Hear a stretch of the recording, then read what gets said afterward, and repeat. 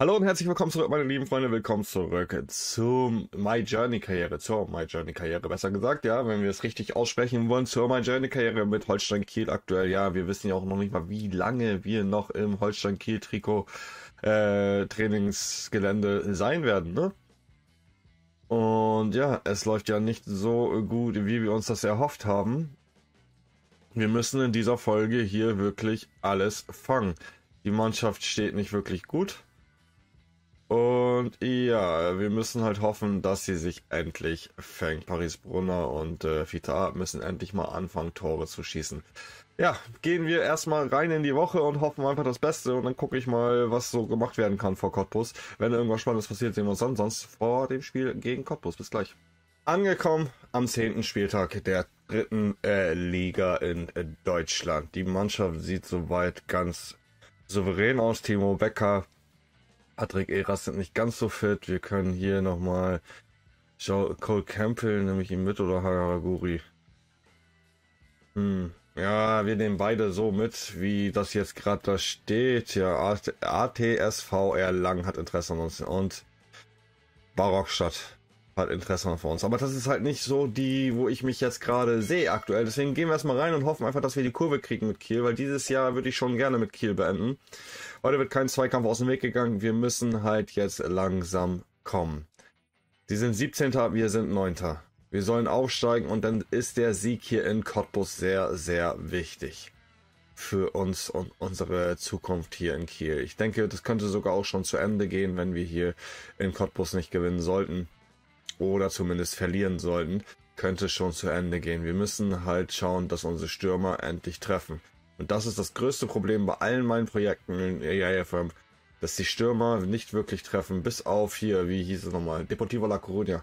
Da wollten sie treffen. Wir gehen mit einem 0-0 in die Halbzeit. Das ist natürlich nicht so gut. Spielergespräche, Assistent hier übernehmen das mal. In der zweiten Halbzeit drehen wir richtig auf. Wir müssen halt gewinnen, da gibt es kein Wenn und Aber, deswegen müssen wir auch aufdrehen. Deswegen müssen wir auch aufdrehen. Campbell kommt für Skripski. Ab kommt für Brunner. Bettchen kommt für Mokoena. Ja, damit haben wir den ersten Schritt gemacht. Wir bringen Haraguchi jetzt nochmal für Garcia rein. Und Villarreal für Jimenez. Und hoffen jetzt einfach, dass das was bringt. Alter, wir kriegen, machen einfach kein Ding.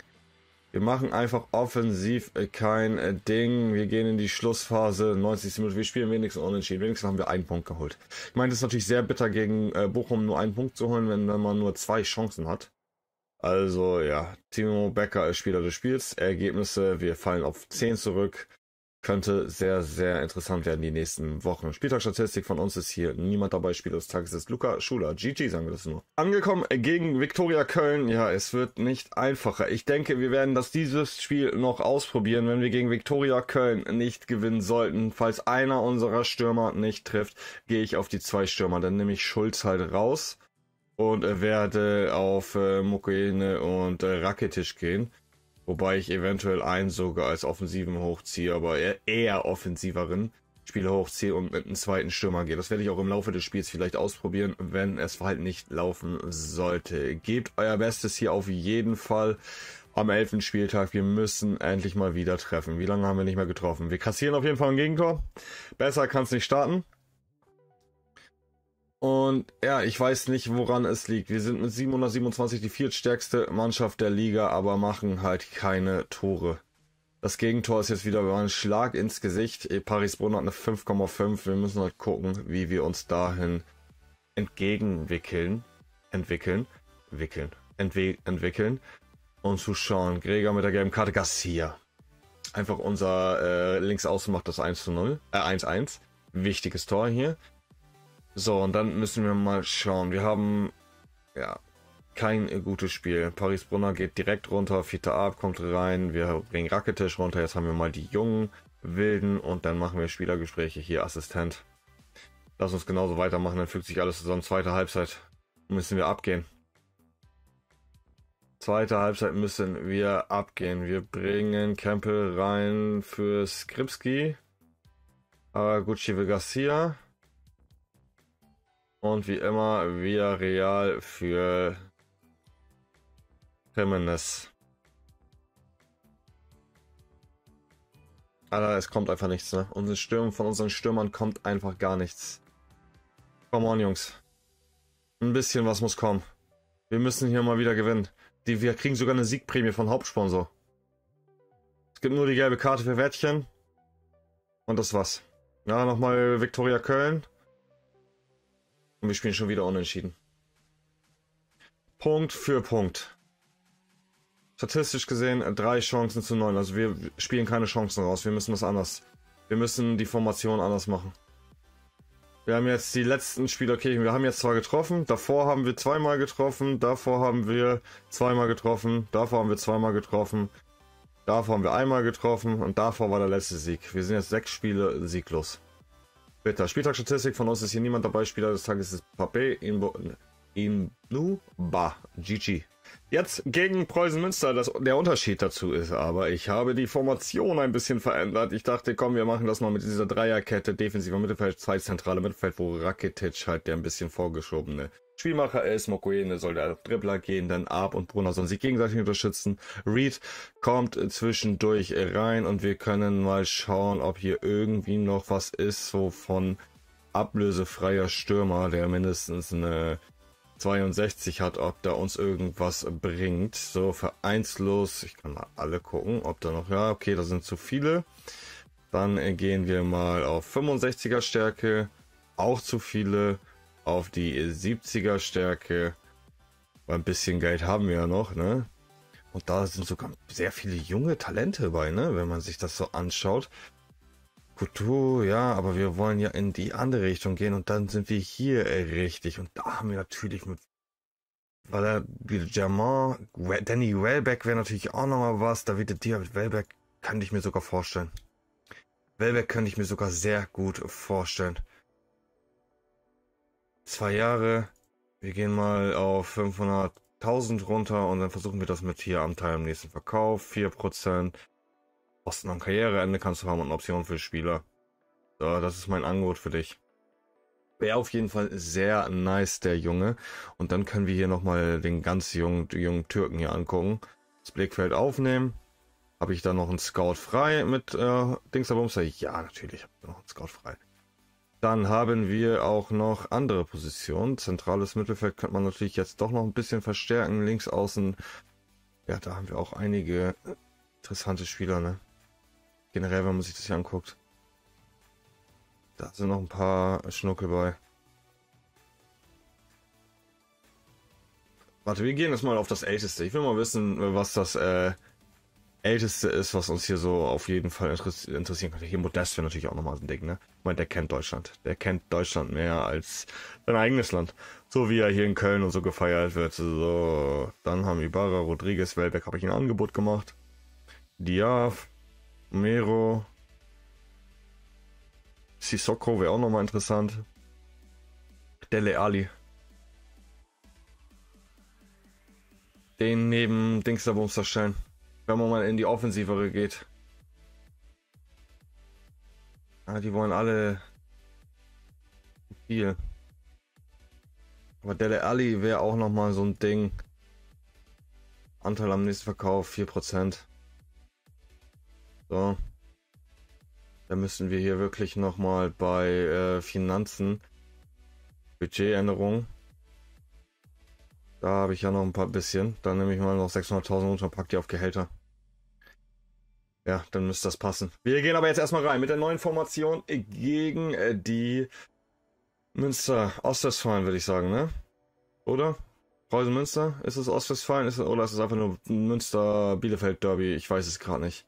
Hoffentlich läuft es jetzt. Wir kassieren natürlich direkt das 1 zu 0. Alexander Hahn, beste Leben. Es läuft wieder mal in die falsche Richtung. Kassieren das 2 zu 0. Wer weiß, ob wir diese zwei Spiele überhaupt noch äh, miterleben. Garcia macht das 1 zu 2, wie vorhin, macht er auch das wichtige Tor. Jetzt müsste er am besten noch einmal ein Tor treffen zum Ausgleichen. Marvin Schulz mit der Vorlage. Wir gehen in Richtung Ende erste Halbzeit mit dem Rückstand oder kommt wir, nein, mit noch einem höheren Rückstand. James Wilson Timo Becker macht nochmal das 2 zu 3. Also hier ist jetzt gerade was los, was Tore angeht. Bloß das Ding ist, unsere Stürmer treffen nicht. Das ist das Ding. So, Halbzeitansprache. Los, zeigt es ihnen. Ey, von uns muss, von euch muss jetzt was kommen.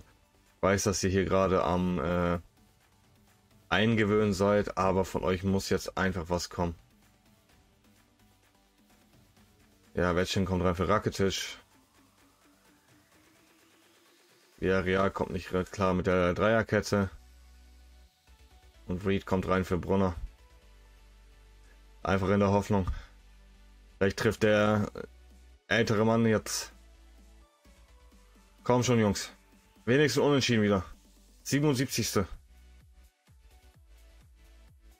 80. Wir gehen in die Schlussphase. Das wird die Niederlage. Das wird eine Niederlage und da ist der Schlusspfiff. Wir verlieren das dritte Spiel. Aber wenigstens haben wir Tore geschossen. Statistisch sieben Chancen. Wir haben mal Chancen gekriegt. Das ist auf jeden Fall liegt die uns besser. Ja, jetzt müssen wir nur hoffen, dass wir noch lange genug Trainer bleiben. Wir fallen auf dem 11. zurück. Nee, wir bleiben auf dem 11. Spieltag Statistik. Von uns ist hier natürlich niemand dabei. Spiel des Tages ist Martinovic. Der wäre natürlich auch nochmal was für einen Sturm. Das sagen wir eins. G, G. Ja, jetzt kommt der Afrika Cup. Quali, Quali Afrika Cup, Total Afrika Cup of Nations Quali Gruppe B. Wir sind mit äh, Guinea-Bissau, Äthiopien. Ne, wir müssen gleich mal schauen, mit wem wir alles in der Gruppe sind. Der hat unsere Mannschaft einfach komplett auseinandergenommen. Ich weiß nicht, warum er hier alles gelöscht hat. Das ist schon mal sehr interessant. Warum hast du die komplett auseinandergenommen? Kannst du mir das erzählen? Ich meine, okay, nützt ja nichts. Ich muss die Mannschaft gleich neu einstellen. Aber ich will jetzt erstmal äh, gucken. Äh, Kalender. Wir sind mit Algerien in der Gruppe, mit Äthiopien und mit Guinea-Bissau. Ja, das sind unsere Gegner in der Gruppe. Dann haben wir jeden Monat spielen wir einmal gegen die. Nee. Und dann haben wir FIFA-Weltmeisterschaftsgruppe. Aber wir müssen uns qualifizieren für Gangsterbumster. Ach, der hat das hier, weil ich das bei äh, hatte das hier gelöscht?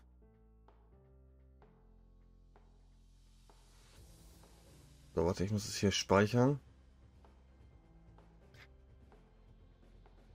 3K2Z1D. So mächtig.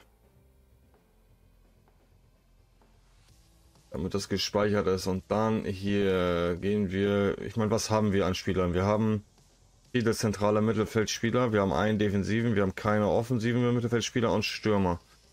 Ja, komm, dann machen wir einfach die Formation, die ich mit äh, Aachen vorher schon hatte. So, Kapitän kommt rein als Torhüter. Dann Linksverteidiger kommst du. Du bist mein Backup. Nein, wir gehen rein mit äh, den jungen Wilden. Motlomeme Makwanzi. Und dann Palazzi als Ersatz rechter Verteidiger du. Mokwane kommt äh, mit. Du kommst mit. Du kommst mit. Defensive Mittelfeld ist gesetzt. Zentrales Mittelfeld ist gesetzt. Links außen ist gesetzt. Rechts außen ist sowieso gesetzt. Und Stürmer ist auch gesetzt. Ja, also da haben wir wirklich keine große Auswahl an Spielern. In der Hoffnung, dass die sich hier noch fangen. So.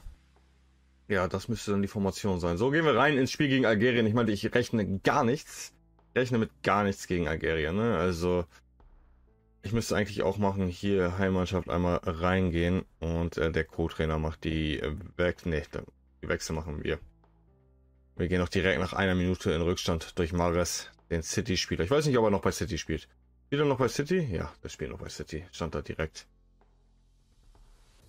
In der Hoffnung, dass wir hier halbwegs gute Ergebnisse machen. Und Nas kriegt auch die gelbe. Wir kassieren natürlich das 2 zu 0. Und ja, ich glaube nicht, dass wir hier großartig was machen können. Wir müssen einfach hoffen. Einmal austauschen in der Hoffnung, dass es halbwegs erfolgreich wird. So, zur Halbzeit komplett ausgetauscht, Assistent. Macht es so, wie wir im Training einstudiert haben. Kann ich auch hier schneller machen, jetzt die Nationalländerspiele. Und das kassieren wir, schießt das 3 zu 0, ja, 4 0. Wir kriegen hier richtig auf die Fresse. 5 zu 0. 4 zu 0 verlieren wir. Let's go! Let's go. Ich bleibe auch jetzt erstmal kurz direkt drin. Ja, Welbeck. Oh, Alter, die wollen mich hier nerven. Halt so krass, ne? So, komm, ich biete dir 675.000 Vorstand, wird das auf jeden Fall nicht akzeptieren. Dann machen wir so und das ist auch mein letztes Wort. Wenn du nicht kommst, dann kommst du nicht. Dann schaue ich mich anderweitig um. Passiert halt da. Bei dir das gleiche. Wir gehen auf 600.000 Angebot, ist das letzte Wort. Vorstand akzeptiert das nicht. Dann bleiben wir dabei. Ich meine, ihr seid, äh, ihr habt internationale Klasse. Deli Ali hat abgelehnt auf jeden Fall. Andere ist noch nicht durch. Ja, da gehen wir auch mit rein und jetzt gehen wir in das nächste Spiel der Nationalmannschaft. Einfach in der Hoffnung, dass das hier schick wird. Das könnten wir sogar, da könnten wir sogar was reißen, ne? So, jetzt hat er ihn fertig gescoutet. Fast fertig gescoutet. Azali. 40 ist er jetzt. Haben wir noch, äh, ich meine, es wird noch weiter, fleißig weiter gescoutet hier, ne? Geht raus, spielt ordentlichen Fußball. Diesmal nicht nach einer Minute hinten gelegen. Ja, 0-0 zur Halbzeit. Dann einmal die Offensive austauschen. Und hier in der Abwehr Palazzi, weil der nicht ganz frisch ist. So. Wechseln kann ich nicht mehr. Ah, und wir kassieren natürlich nochmal das 1 zu 0 gegen Äthiopien in der 73. Und das war's dann auch. Ja, wir verlieren unser zweites Spiel. Ergebnisse. Wir sind aktuell letzter. Und wir müssen jetzt noch gegen Guinea-Bissau. Hm, wer weiß, wie lange wir Trainer von äh, diesem Verein bleiben, von Äthiopien. Ich meine, bei... Wieso sind wir jetzt bei Null? Wir haben doch gar nicht gespielt. Wir werden gleich gefeuert. Wir werden gleich gefeuert. Ich gehe nochmal weiter. Bis zum nächsten Spiel und äh, in der Hoffnung, dass wir nicht gefeuert werden, weil sonst werden wir schauen, was wir noch kriegen. Dann werde ich noch ein bisschen vorsimulieren und dann gucken wir, bis wann ich was kriegen sollte an Verträgen. Ich meine, wir haben noch ein Spiel übrig hier für die Nationalmannschaft von Lesotho. Und da müssen wir halt hoffen, dass wir alles hinkriegen. Wenn wir bis dahin noch Osnabrück Trainer sind, äh, Kolstein Kiel Trainer sind, das ist die Frage. Angebot und Dings da. So. Ja, das wird auch nichts. Da kriegen wir auch auf die Fresse. Gar nicht gerade lang drumherum schnacken, geht raus. Aber das ist jetzt natürlich bitter, wenn das auf die äh, Vereinsmannschaft geht. Pelé. Ja, mal von Pelé. Nationalmannschaft. 33 Jahre alt. Beste Leben. Beste Leben. Ich zur Halbzeit ausgemacht? Ich habe zur Halbzeit ausgemacht. So.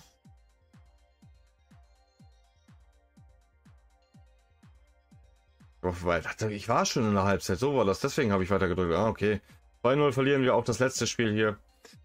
Beste Leben. Und das war wahrscheinlich auch der Grund, warum wir jetzt bei äh, Holstein Kiel gefeuert werden. Einfach aus dem Prinzip, dass wir da drei Spiele verloren haben. Ja, da ist es, die Kündigung. Als Sie am Vereinsgelände zur Arbeit erscheinen, werden Sie mit einem Blitzgewitter, Blitzlichtgewitter begrüßt. Die Bretter bestürmen Sie mit Fragen. Endlich verstehen Sie, was passiert ist. Es ist jetzt das erst zweite Mal, dass wir gefeuert worden sind in der Journey-Karriere. Schade, Kiel wäre natürlich nice gewesen. Aber wir können jetzt auch einmal direkt äh, schauen. Ich meine, unser Geld wächst ja auch langsam, ne? Wir können auch jetzt mal direkt schauen in der Karriereoption, was da so für Angebote sind. Wir haben einmal Fleetwood Town aus der Skybet League 2. Wäre natürlich interessant, wo ist denn das Altrichem, unser Ex-Verein. Dann haben wir San Donato Taverne aus der Serie C, Girona B. Und Santonio Calcio, Serie C, Girona C. Girona C. Wäre auf jeden Fall interessant. Wäre auf jeden Fall interessant, aber wir machen jetzt erstmal das. Wir sind gefeuert worden, dann können wir erstmal Golf spielen gehen. Ich, aber ich bin nicht, ich bin nicht für diese drei Vereine gerade, äh, ist nicht so meins. Neun Spiele, zwei, äh, neun Siege, zwei Unentschieden, elf Niederlagen. Okay, hier 49 Siege, 14 Niederlagen und da vier Siege, vier Unentschieden, sechs Niederlagen. Und das reichte. Dings der Bumster. Lesotho, ein Sieg, fünf Niederlagen, 4 zu 14 Toren. Ich hoffe natürlich das Beste für Kiel wir gehen jetzt erstmal weiter. Ich werde jetzt erstmal weiter simulieren, bis ich einen Verein habe, wo ich gesagt habe, ich habe jetzt den ganzen Monat Zeit. Bis Ende des Monats. Oder bis Ende. Mitte November, bis Mitte November. Oder Ende November habe ich Zeit und wenn ich am Ende November, letzte Woche im November, muss ich dann einen Verein annehmen. Wenn ich da keinen finde. Also sehen wir uns gleich bei der Vereinswahl. Vielleicht kommt früher was. Bis gleich. Damit sind wir am Ende des Novembers angekommen. Ich konnte eine Woche vorher gar nicht gucken, weil ich letzte Woche einfach gar kein Angebot habe. Ich habe auch den Vertrag mit Lesotho äh, gekündigt, aufgelöst, weil da lief es gar nicht gut und normalerweise hätten die mich jetzt schon gefeuert mit den gefühlt 20 Toren aus drei Spielen oder so, die ich kassiert habe. Deswegen gucken wir uns mal die Vereine an. Wir haben einmal Oberliga Westfalen. Das ist eher nicht so das, was ich denke. Dann haben wir Camtasso Calcio Serie C, Girona, Girona A und Città di Sant'Agata. Also, man, wenn man ehrlich ist, Italien. Es wird Italien. Aber wir werden dann wahrscheinlich gucken, dass wir erstmal nur einen Jahresvertrag unterschreiben. Und dann gucken wir uns jetzt mal die Teams an. Ja, da sieht es gar nicht so gut aus und hier schon ein bisschen besser. Dann gehen wir auch in Sorrente Calcio. Ja, das, die wäre nicht die. Warte. Da ist es. Wir sind 17. Da haben wir 50, 50, 50 und hiermit haben wir bisschen besser. Nur im Sturm müssen wir nachlegen, aber da ihr ja schauen. Wer ist denn finanziell? Wer steht finanziell besser da? Finanzstatus und nationale Prestige 5 von 3. 6 von 3, ja, dann gehen wir mit 6 von 3. Gehen wir mit äh, Compatarsego Calcio rein. Anfrage ausgewählter Verein. Wir möchten einen Jahresvertrag, wir gehen auch runter vom Gehalt und hier runter. Und Option für den Manager falls ein gescheites Angebot kommt, dass wir wechseln können. So, da können wir jetzt ein bisschen höher vom Gehalt gehen, weil die haben hier alles ein angenommen. Da gehen sie drauf ein. Gehen sie auch auf die Option des Managers ein. Ich meine, okay, wir sind bis Ende des Jahres da. Also wird das wahrscheinlich keine großartigen Probleme geben. Sie nehmen nur nicht die Option für den Manager an.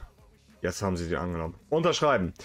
Damit haben wir unseren neuen Verein gefunden, sind auch beim Golfen ein bisschen weitergekommen. Ich habe gefühlt jeden Tag äh, abgebrochen, damit ich golfen gehen kann. Und jetzt sind wir beim zweiten, bei 20. Wir haben ungefähr 20er Golf-Handicap. Äh, und das sieht schon mal gut aus. Und der Verein hat sogar 50-jähriges Bestehen. Ne? Das ist schon mal auch sehr nice. Wenn man sich jetzt hier private Bereich, ja, Handicap 20, können wir auch direkt golfen gehen. Die haben das letzte Spiel unentschieden gespielt und jetzt momentan sieht halt alles mies aus für uns und wir müssen halt wirklich gucken, dass wir diesen Verein hier hochziehen können. Wir haben viel zu viele Spieler, auch in der zweiten Mannschaft. Und die Jugendmannschaft sieht auch nicht gut aus.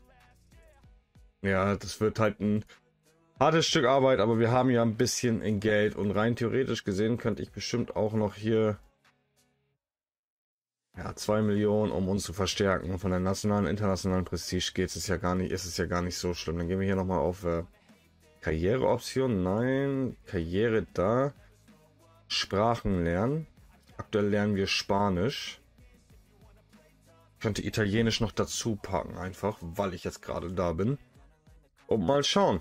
Ich meine, Holstein Kiel ist leider zu Ende. Und wir müssen hier jetzt noch den richtigen Kader raussuchen. Aber das machen wir alles in der nächsten Folge. Ich würde hier die heutige Folge beenden. Ich bedanke mich bei euch fürs Zuschauen. Wenn es euch gefallen hat, lasst gerne eine Bewertung da. Ansonsten sehen wir uns in der nächsten Folge wieder.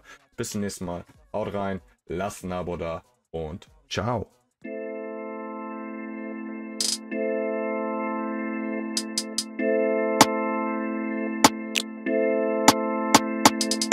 Ich weiß, dass sie wissen, ja, ich habe keine Zeit. Mache immer weiter, denn ich fühle diesen Vibe. Viele wollen connecten, weil sie wissen, wer ich bin. Aber ich hab kein Interesse, weil ich nicht weiß, wer sie sind. Aber lass